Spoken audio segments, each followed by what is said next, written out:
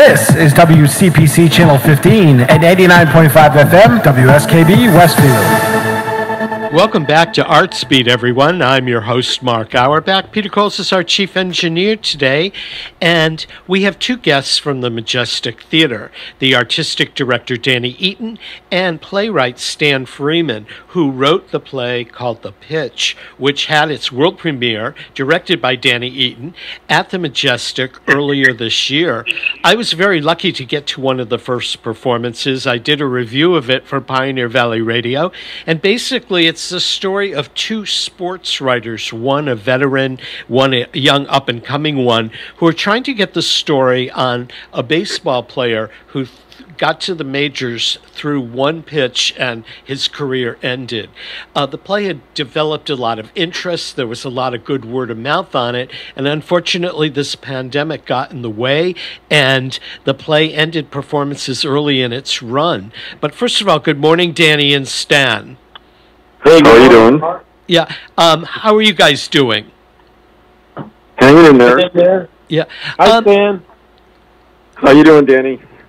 Great, great. it's Thanks. it's great having you back here, and I've got to say that we recorded a program with you all and the two leading actors in in the production, and there was a technical glitch that went wrong, and most of the program had to be ditched and salvaged. But um, it when y- we talked to you the last time, you were about three weeks into rehearsal with maybe a week or two to go before the first performances. And i know that the play got a lot of great word of mouth and um, a, a lot of uh, activity at the box office. Uh, what when you folded the play which you had no choice in doing. Um, you said at that time that you wanted to bring the play back. So, what's the status of it at this point? Do you think you'll be able to reopen in the fall and bring the play back, or um, will you have to wait longer than that? Uh, it'll be a, a little bit longer than that. We actually have uh, developed a reopening plan, and uh, that will take us to uh, January 9th, which is sort of the official reopening date.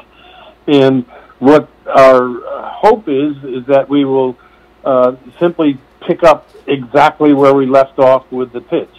The, the set is still on stage. We haven't touched that. And all the props and so forth are, are backstage. And, you know, the actors are uh, ready and, and willing to go. So, you know, the plan is to pick up just where we left off with the pitch and finish the, the final three and a half weeks of the run. How much time will it take to rehearse to bring it back to performance status? I just anticipate a week. I mean, I, I've been thinking about that with every show that's on hiatus, how long it will take to bring it back. Uh, you know, everything from the Broadway plays to uh, other shows.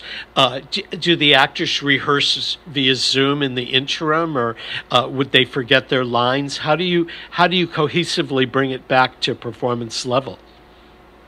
Well, I think you know um, the you know part of part of the issue will be with with the union with equity uh, for sure. I mean, actually, equity has uh, control over all of this because you know they are they're doing their due diligence as as a as a union, and they will not um, allow any of their members to go back to work uh, under any circumstance until they say, okay, it's, it's good to go back to work. So uh, the January 9th date is something that we've planned, but, you know, that depending upon equity, that may not hold, or they may say, uh, you know, theaters can open up in, in December. Don't know.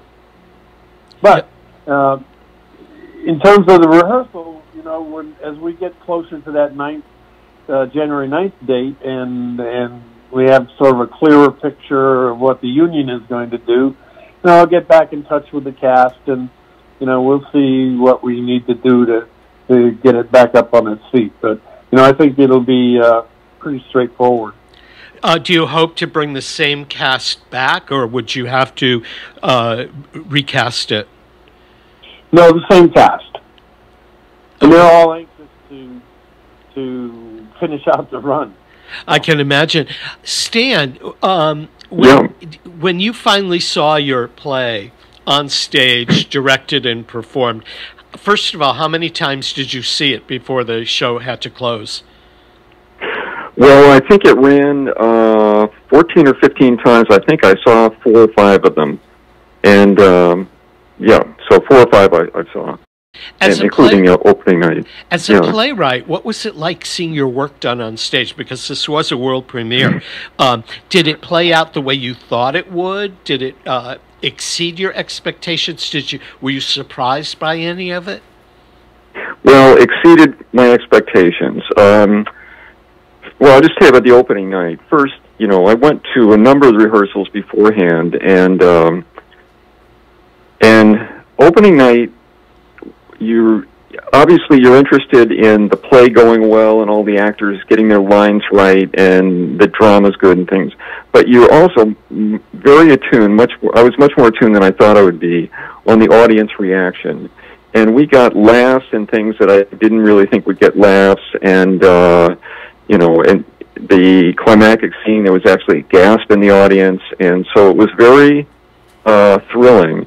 I spent 30 years as a newspaper reporter, and generally, you come in, you write your story, you pick up the paper the next door, you see this. You see the story in the paper, and you don't have uh, very much contact with the readers. But theater is something completely different, and uh, it thrilled me a lot more than I thought it would to see the great reaction of the audience and to hear comments as, as we were walking out. I stood with Danny and people uh, had comments about it, and uh, and then of course there were the reviews, which were very good, and um, so it was it was really more thrilling than I could have anticipated, say six months beforehand. Yeah, I, I one of the things I have to tell you is, I mean, uh, having talked with both of you and the actors beforehand, and then seeing it, I did not realize that it was a thriller and had a surprise ending. That that part of it took me by surprise. But I thought the ending, um, people around me, you could you knew the audience, uh, it, it, at least where I was seated, they were so into it uh, that. Uh, it was as though you gripped their attention. There wasn't a, a, a playbill that moved. There wasn't a, a gum chewer there. Everybody was just wrapped. Um, uh, that surprised me. Right. Well, you you know, the the script did part of that, but the acting, John Hagen, the lead act, and the lead part, and Julian Finley in the second lead, and Steve Pierce as the baseball player, they were just so good that it added, you know, it doubled the value of what, whatever the script had.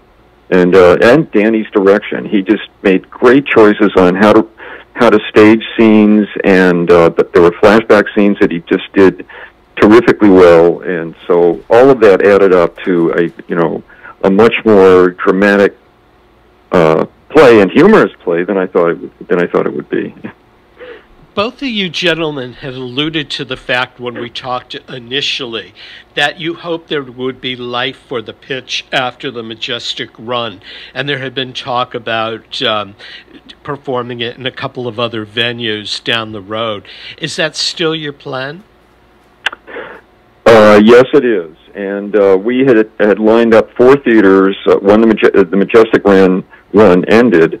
We had four theaters lined up over the uh, spring and early and summer, uh, and then the virus hit. But all the theaters uh, they understood why we had to cancel because everyone had to cancel, and but they all welcomed us back and invited us back once this ends. So, you know, we're just paying attention to the Majestic run, and after that's over, we have our little portable set and the actors just love the play and they want to do it and so we're you know ready to go once uh, the world is back to, uh, to a little bit of normalcy That's great because I think it's a play that would uh, do well in other locations. It, uh, it, w- whether they're small theaters or whether they're larger ones.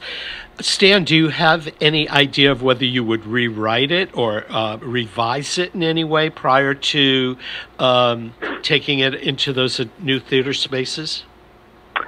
well uh, small changes uh, some because you know the majestic is able to do something i wouldn't be able to do on the road which they for instance, a small detail, but they had a TV at the front of the set, and there was things on TV all the time, baseball games, and uh, you know, on the road we wouldn't have that ability. So I wrote, rewrote the lines that had to do with what what was on TV and and uh, you know the uh, dialogue between the actors as they were watching it and so forth.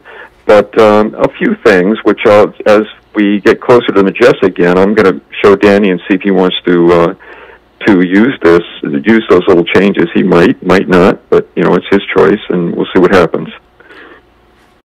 Uh, Danny, has there been any interest by other theater companies or uh, agents uh, to take the play and move it to another theater uh, with a different director and cast? Um, not that I'm aware of, although I know Stan has has uh, been working on these uh, these other potential productions that he's talked about. So, um, you know, that'll be exciting for me to to go see it in a different space, and uh, you know, so I'm kind of looking forward to that. You know, I would talk. We were talking about the ending a little little earlier, and um, you know, one of the things that that struck me about the ending of the play, and I think, and I, I'm sure it struck the audience as well. Um, you know, here here comes this young reporter, and uh, all of a sudden he's got this book, and you know, by God, he got it done. Here's the book, you know, and so there's like some excitement there, but then that quickly, quickly turns to something else, you know, becomes something else. And I love that turnaround, you know, and and the impact of that turnaround on, on the audience. And uh, it was a great, uh, it was a great way to end it. One question I had for Stan: Why did you set it in New Haven? Um, it, it, has New Haven been a part of your life in some at some point, or uh, I, I, find it well, interesting because it's one of the few plays set in New Haven that is not Yale affiliated. Well, there were actually two reasons. One was because for many years I went out with a woman who lived uh, in North Haven, which is right outside New Haven. But the other reason was that originally I wrote this play for a uh, New York producer who was interested in it, and uh, he wanted the Yankees as the team, and he also, you know, felt it should be set around New York to draw audiences from the metropolitan area. So that is why it ended up in New Haven. I didn't know whether in your career you had lived there or gone to school there. There was some particular right. uh, thing about it. Um, in terms of the when you bring it back to the stage, Stan, you said you might tweak a few things. Danny, what about the direction? Do you think you'll tweak a little of that, or are you going to try to restage it as it was? No, I think we'd pretty much restage it as as it was. Um, now that would depend on uh, what Stan's new writing is, you know, and you know, I mean, does it have something to? Oh, I'd, I'd run it by yeah, I'd run it by you first. Believe me, it, yeah, you know, you make great choices. Yeah. Uh, Stan, since you know, there, there's that one character who has what four lines in the play. Yeah, pretty. Yeah. Brought our, our our production assistant out and put her in the cast uh, for that, and so I think that was uh, uh, that was a writing thing. Stan, as, well, as yeah. well as the casting thing, you know, why? How can you cast right. an actor four lines? Right. Uh, Stan, as you have had this experience of seeing a play that you wrote get on the stage, um, are you going to write another play uh, or another work for the theater specifically? And and what what are you working on now? Uh, well, I I did write another play, and uh, friends are reading it, and people like it. But to tell you the truth, the pitch is kind of uh, unique. It had a lot of things that um, would appeal to audiences and to theater directors like like Danny that I don't think this other play had. And it's it's about baseball. The lead character is 72. He's a blue collar kind of guy, but a really good re- uh, sports reporter. And um, most audiences that go to theaters are older, and uh, I found as this, you know, as I watched this play with an audience, that they really um, associated with this character. And I think the fact that it was about baseball, it's very down to earth. And these, you know, it's hard to come up with another plot and another set of characters would, that would have the same appeal. And I think that's the reason when Danny read it that he liked it because he sensed those things. Now so there was also the, the, the, the, time frame, you know, of of uh, the of the pitch itself. You know, back in the '60s, and you know, our audience connected with that, and it was Yankee Yankees Red Sox, and our audience right, right. certainly connected with all of that. And then this great story about uh, the two reporters and and uh, you know the the sort of battle that the two of them go through in, in order to get this book published. Right. I, I mean, I think I think it, uh, the framework. Uh, baseball is really the peripheral part of it, or was to me, in terms of the entire thing. But seeing the two reporters and that interaction, that's where the tenseness and the drama was. Right. Um, Stan, are you going to write for other uh, genres at this point, or, or has the theater bug caught you? Um, well, the theater bug caught me in because it actually pays. you know, I'm retired. I worked as a newspaper reporter for 30 years. It's not a high-paying job, and uh, it's the theater. If you get something produced, it actually pays pretty well.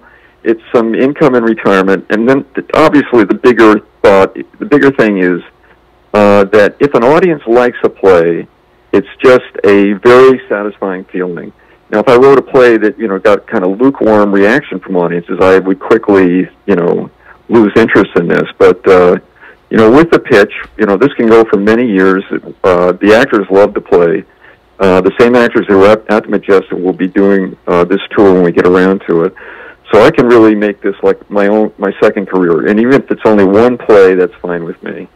Okay. Uh, I'm not Dan- ambitious at my age. Stan Freeman, uh, playwright, Danny Eaton, artistic director of, of The Pitch, at the, uh, was at the Majestic Theater and will return to the Majestic Theater. We've got to take a very quick break here to acknowledge the underwriters that make Artsbeat TV and radio possible. Peter Coles is our chief engineer. I'm Mark Auerbach. We'll return in just a moment. Welcome back, everyone, to Artsbeat TV and radio. We're here every Friday at 8 a.m., both on Westfield Community Programming Channel 15 and 89.5 FM WSKB.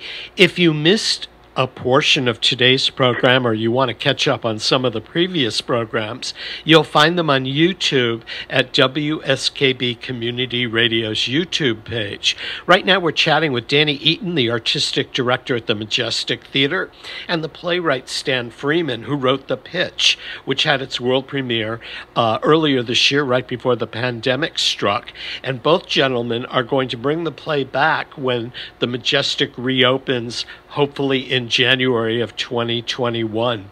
Danny, what are the other plans that you have uh, for plays for the 2021 uh, winter and spring?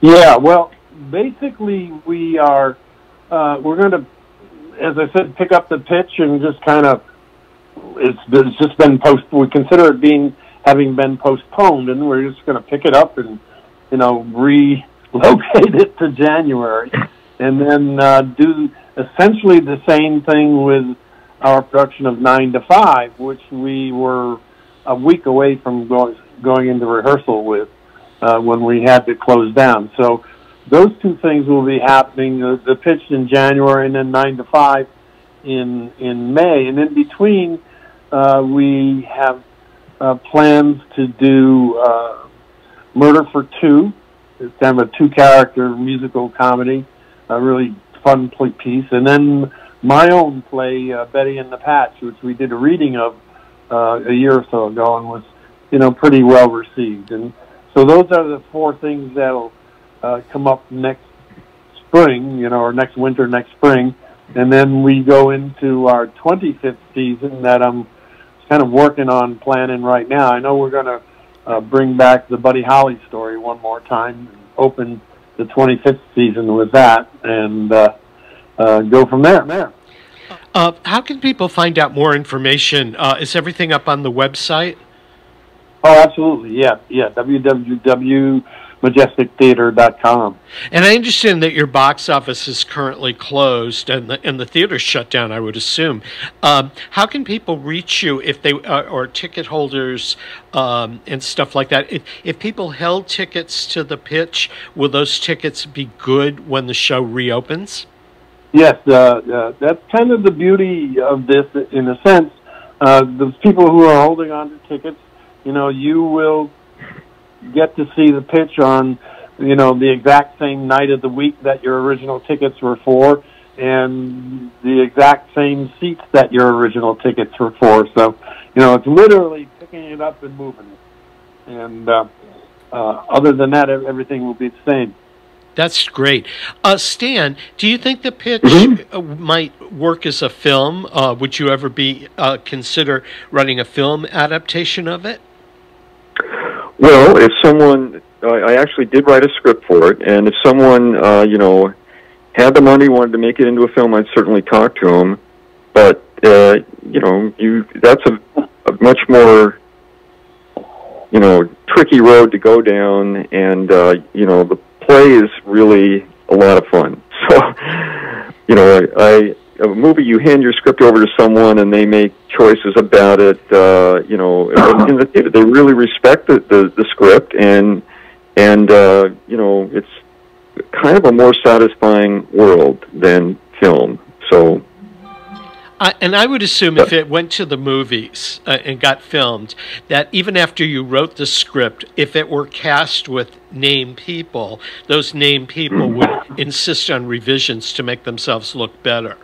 So, well, from what what I understand, it's not only actors but producers, directors, you know, wives of the producers, you know, anyone. Uh, the, the actual scriptwriter is very low on the totem pole whereas in the theater, uh, the scriptwriter is very high on the totem pole. So that's you know a difference, a big difference.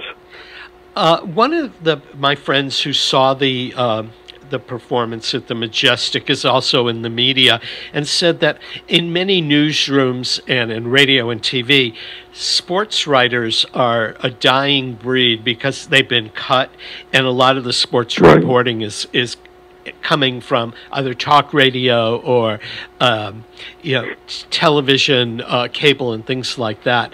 Uh, you profiled two sports writers, one an up and coming one and one a veteran one.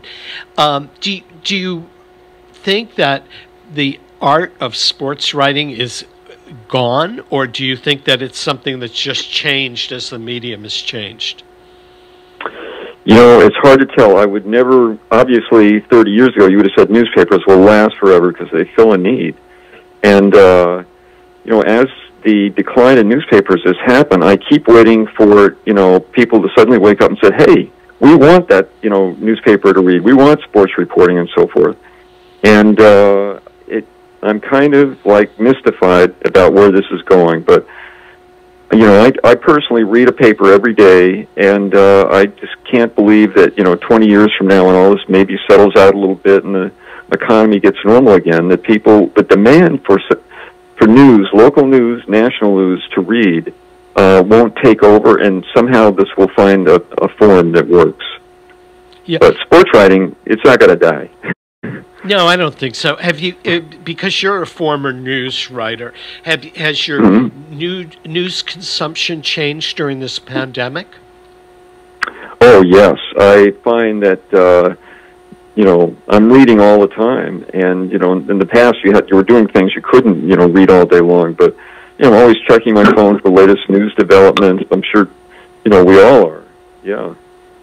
We are. Yeah, if if I could toss something in too, I think uh, sports itself has has changed. You know, it's become um, much more of a big business, and uh, you know those days of of the Yankees with Mantle and Maris and the Red Sox with right.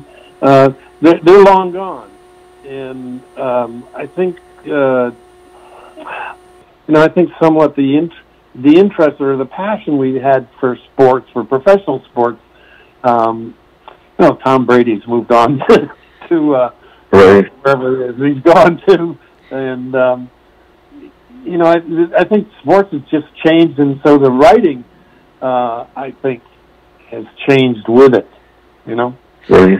Right. I would agree. I'm not I'm not a regular sports reader, but I just noticed that the way it's being reported today, the industry and the business uh, is much different than it was when I saw Yeah. stories as a kid.